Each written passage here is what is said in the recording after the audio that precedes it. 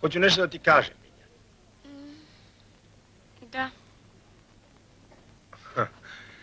Razmišljao sam noćas.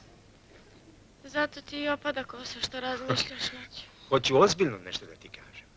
Zbog onog psa sinoć. Žao mi je. Psa? Kog psa? Pa onog pred domom. Cijelu noć sam mislio. O psu? I o tebi. Kakva asocijacija. A rešio sam da ga nađem danas. Ma čekaj, Peđa, o kom psu govoriš? O onom čupovom šarovu sinoć. O njemu. Pa šta će ti? Pa sinoć si htjela da ga vodiš. Sinoć? Bože, Peđa. Ti stvarno ne vidiš razliku između sinoć i jutros? Pa on je tužan i jutros. Sigurno. Hvala ti, Peđa, mnogo što si razmišljao noćas.